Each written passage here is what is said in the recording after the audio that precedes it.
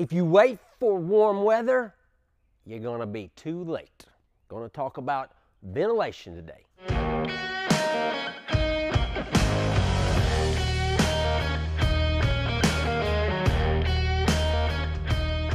One thing we harp on on this channel is control the things you can control.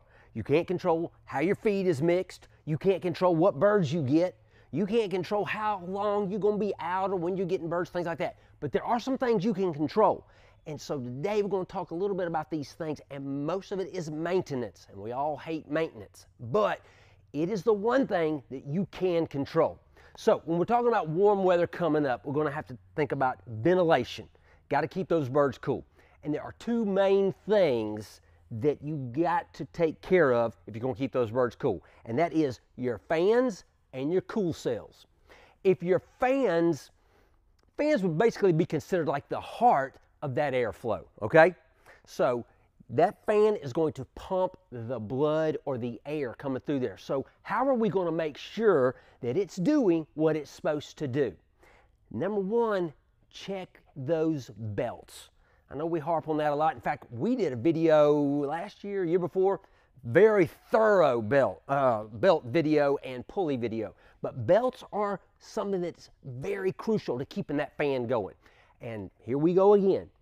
It's not about that belt riding down in that. That belt's got to ride up on top. So what you want to do is check and make sure that your belts are sitting in the pulley like they're supposed to.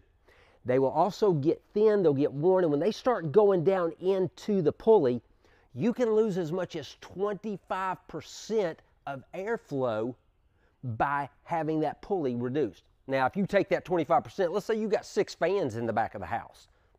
You reduce by 25%, that's almost like what, four fans maybe?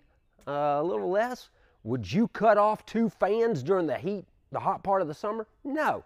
So, you don't think it matters that much, and you good enough is never good enough. So, make sure that belt is riding up high on that pulley.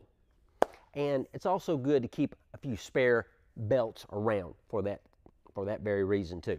Number two, your pulleys. Your pulleys are also a crucial part because here's a couple things that can happen. Number one, that pulley starts wearing out and that belt's going to drop down in there. That pulley should have a V shape. What will happen is that thing will end up wearing those pulleys down to where they're kind of making that V a U. And when that starts riding down in there, now you start losing some of that percentage of that fan turning, which means you're going to lose some airflow. So those pulleys, make sure your pulleys got a good V, they're not worn, and also alignment. That's one thing that can wear out those belts. And that can come with just a motor getting loose or your pulleys getting loose, is that if those pulleys aren't aligned, and like I said, we go into more in depth on another video, but you've got to keep those pulleys in line or they're going to wear out the belt and now you got it happening faster. So a couple things you're going to have to look at. Make sure your belts are riding where they should. Make sure your pulleys are lined up. Make sure that they've got a good V cut into them.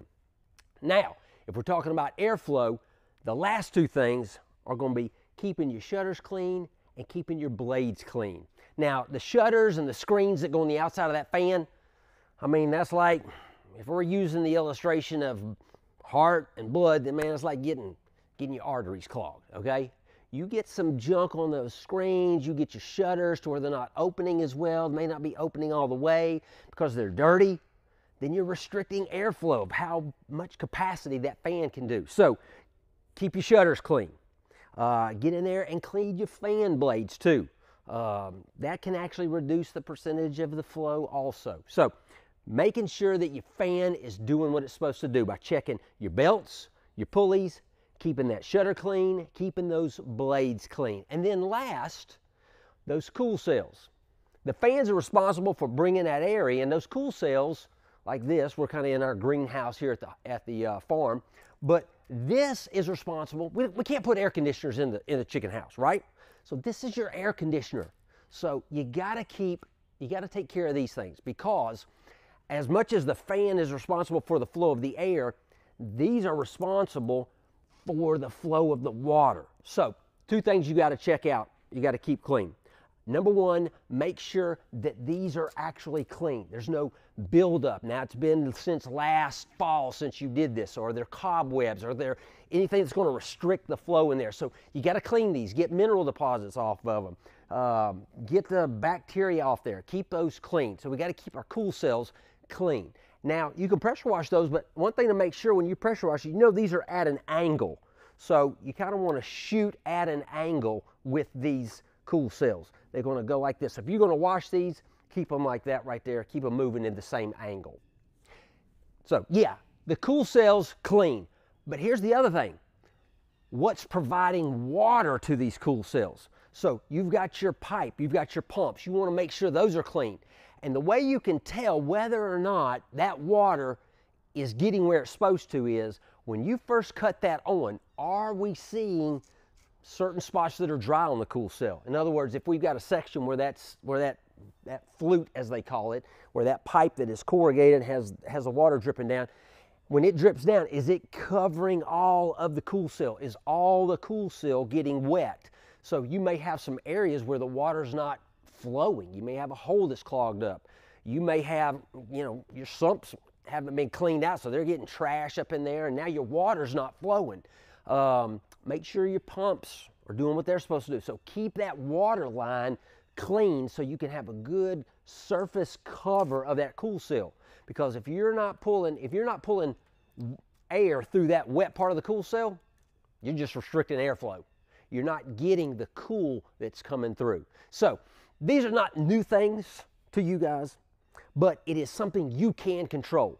And I encourage you to do these things because you wouldn't want to go back 25% reduction on any airflow. I mean, this is the life of your bird. So, just some things to think about.